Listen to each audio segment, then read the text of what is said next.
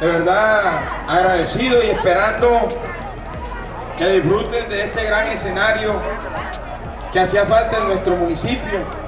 o que de pronto lo teníamos pero no, no lo teníamos en unas condiciones dignas.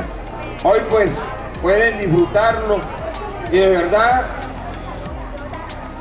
pido que lo cuiden porque es un escenario que no es del alcalde, que no es de ninguno particular, es de todos.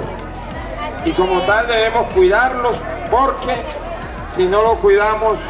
nos va a suceder lo mismo que nos sucedió con, con el que teníamos. Falta y vamos a hacer para el próximo año,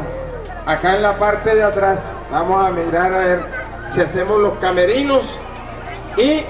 igual